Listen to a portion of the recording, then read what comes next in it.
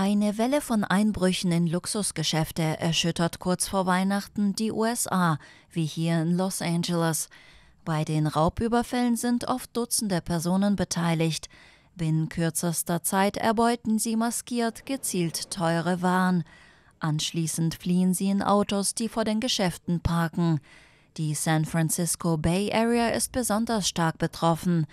Nach Angaben der örtlichen Polizei raubten allein am Samstagabend etwa 80 Personen ein Nordstrom-Kaufhaus in Walnut Creek aus. Die Polizei konnte mehrere Personen festnehmen.